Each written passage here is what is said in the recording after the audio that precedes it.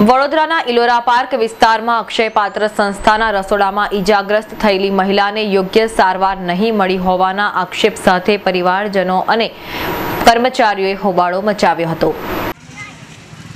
વડોદરાના ઇલોરા પાર્ક નજીક આવેલા આત્મજ્યોત આશ્રમની પાછળ અક્ષય પાત્ર સંસ્થાનું રસોડું આવેલું છે, જ્યાં ધરમપુરા વિસ્તારમાં રહેતા મંત્રાબેન ભોઈ રસોડામાં હંગામી ધોરણે નોકરી કરતા હતા. દરમિયાન ગત છઠ્ઠી તારીખે મશીનમાં સાડી ભરાઈ જતા મંત્રાબેન મશીનમાં ફસાયા હતા. જે બનાવમાં તેઓને માથાના ભાગે ગંભીર ઈજાઓ પહોંચી હતી. ત્યારબાદ તેઓને સારવાર અર્થે સયાજી હોસ્પિટલમાં ખસેડવામાં આવ્યા હતા. જોકે પરિવારજનોએ મંત્રાબેનની યોગ્ય સારવાર કરવામાં નહીં આવી રહી હોવાના આક્ષેપ કર્યા છે.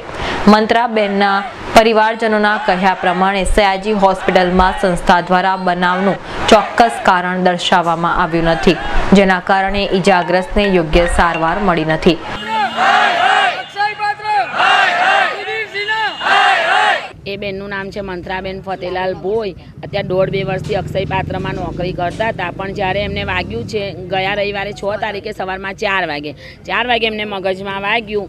તો અમને એનો જે કોન્ટ્રાક્ટર છે, ગણપતભાઈ, એ હોસ્પિટલમાં લઈ ગયા સરકારી. તો એમને એવું કીધું, અમે જ્યારે એમને પૂછ્યું, તો કે એમને ત્રણ ચાર ટાંકા આવ્યા છે, એમને બે, બાર બે વાગે રજા આપી દેશે. જ્યારે અમે ચાર વાગે જોયું, તો એમની માથાની નસો બધી બ્લોક થઈ ગઈ છે. પછી અહીંયા જે અમે સુધીર સરને મળ્યા. રાતના મિટિંગ કરી સાડા ત્રણ. એમને કીધું અમે પ્રાઇવેટમાં લઈ જઈએ છીએ. સવારમાં કોઈને જાણ બી ના કરી એ નરહરીમ લઈ ગયા. જ્યારે નરહરીમ લઈ ગયા તો ન્યુરો સર્જિકલ કોઈ ડૉક્ટર જ નથી નરહરીમાં હવે બૈરીની ટ્રીટમેન્ટ કેવી રીતે થાય? આજે એને તાવ આવતો હોય તો ટ્રીટમેન્ટ થાય પણ એને મગજનું છે. હવે આજે નવ દિવસની એને આંખો બંધ છે મરેલા મરદાન જેમ નાખી મૂકી છે. આજે કરી? અમે સરને જ રજૂઆત કરીશ કે અમારે કંઈ નહીં કરવું તમે એક અમને લખાણ આપો કે અમે પ્રાઇવેટમાં લઈ જઈએ છીએ. અમે જઈ કહીએ તઈ લઈ જાઓ. અમે ગાડીઓ રોકી છે. શું અધિકારી શું કહે છે? એ કહે છે કે અમે કરીએ છીએ. તો એમને ગયા રવિવારે પણ કીધું હતું કે અમે કરીશું પણ હજુ કર્યું નથી.